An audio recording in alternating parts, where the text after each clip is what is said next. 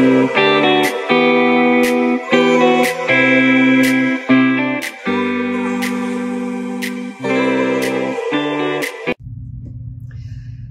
everyone, it's been a minute, uh, but welcome back. Um, I decided that in my goal to set up my calendar for March, I would show you how we do that. So I have uh, three kind of planners type things here. Um, one is new to my system this year. It wasn't in my setup video or my uh, planner system video at the beginning of the year, but I have learned that it has been very helpful in um, reaching a couple goals that I have. So I will take a minute and um, just explain what each of these are and then get into how I set it up, what I use, and then I'll go ahead and set that up and uh, show you some of the finished products. So first up, um, before we get into it, if you uh, are new here, welcome. Um, I do planner and skincare videos and try to post new every week. So uh, thanks for joining. Um, if you do like what you see, please go ahead and uh, subscribe or hit the like button and uh, share with your other planner friends if you feel like this has been helpful for you. So the up first, uh, there's a couple setup videos for this guy. Um, it's my Pocket uh, A7 Pocket uh, Luxe Moterm planner. It's an everyday carry on the go. It stays in my purse. Um, I revamped it from last year. Um, I was in a pink Moterm for a couple of years and uh, switched over to the gray and slimmed it down a bit uh, from how it used to be set up, just based on what was I using, what was I not, and uh, really like this so far. So that's always with me. This one uh, is always on my desk, folded to the day of the week, um, the week or the month.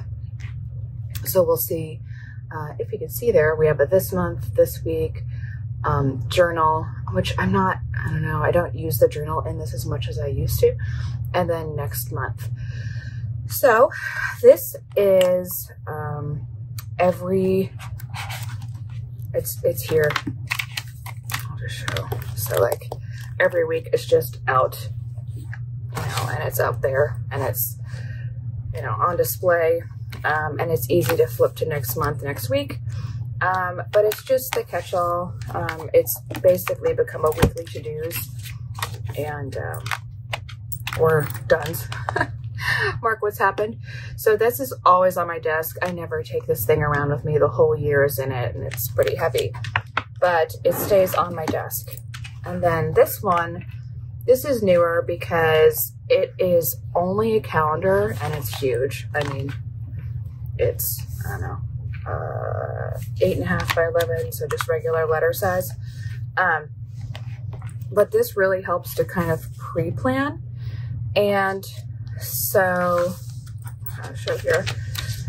What I did is I set up um, for the year in advance. So we have some marked days. Now that it's we're approaching March, it makes a little more sense that it's starting to be filled out. But like if I'm looking ahead, as things pop up, I enter them in. But one thing I try to focus on is marking where every 12 weeks land throughout the year because I'm trying to take a little more time off. I did not take time off in 2020, 2021. Um, I was a contractor, I didn't have paid time off. Uh, so that made it challenging. Um, and I was also, you know, caring for my mom. Uh, my husband and I shared that role, and um, that was very time consuming. So it's very easy to quickly get burned out, and we're trying to avoid that this year um, and try to mitigate that as much as possible. So I marked, I had a goal for every 12 weeks to try and take either a long weekend or a day off Um, so I marked either the 12 weeks with the gray tabs. I marked potential PTO, daytime off with like the the burnt orange tabs, and I marked um, some other like bank holidays, like Memorial Day in May, the pink tab. And so just trying to kind of plan to know that I have some built-in time off and there's some some buffer. Um, you know, just it helps me. It helps to know that I'll be able to build in some breaks here and there. Also learned from last year, um, since my mom's stroke, I we do take her to all of her appointments or had been taking her to all of her appointments and there's there's a lot. Like what was a simple could be a simple crown fix ended up being five or six trips back to the dentist um, with how much work was needed. So things like that. So in August, when there isn't any like built-in paid time off, uh, I mean uh, bank holidays, and it's a really long month, uh, it tends to get busy at work during these times because they're both you know, 31 days long, July and August back to back. I'm just trying to, for example, put in like just July and August be no appointment days. Um, and so this helps, it helps me plan for the months ahead. So doing that all up front was really helpful because when I go to plan in, like for example, today I'm going to plan for March and make sure all the cal calendars sync. Um, but it helps to know that I started my year off with a goal and I just put in some tentative tentative dates that okay maybe I can take a day off here or take a day off there um, or maybe March can be a little bit of a heavier appointment month if I'm taking some time off in April, things like that. So a bit wordy, but this is how I use this one. It's really helped. Um, but one thing is I don't typically go in unless I feel like it and update this one. This was at the start of the year start of the month if I'm trying to move things around.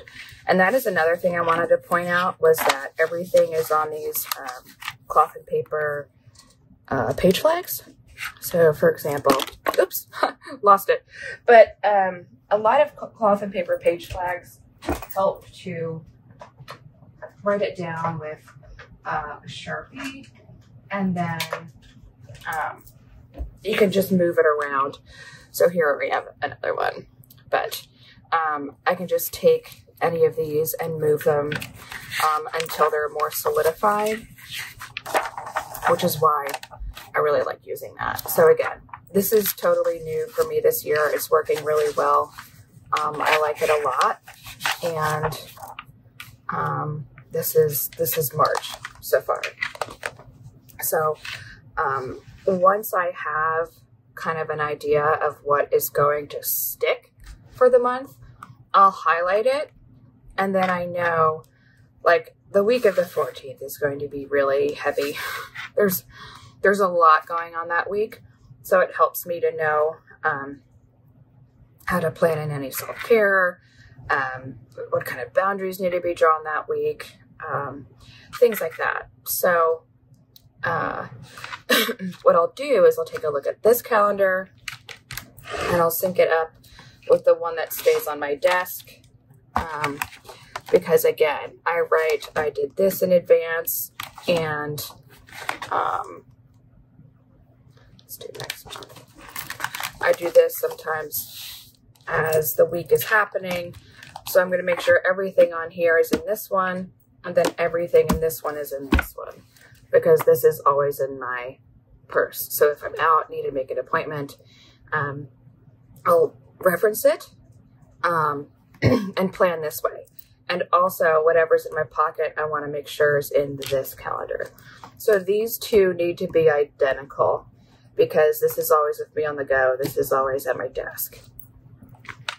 And um, whether I decide to or not depends on if I update this one. So that is an explanation for how the calendars um, stay updated. I also have a calendar on the wall behind me. That helps because um, my husband can see it and we can plan when things are happening uh, based off the calendar uh, on the wall. And uh, that's it. So I tend to, it can be very easy to forget that things are set or scheduled or upcoming. When are they? When are they happening? And um, maybe it's just, you know, kind of the dust settling from 2020 and 2021. so forget it's 2022.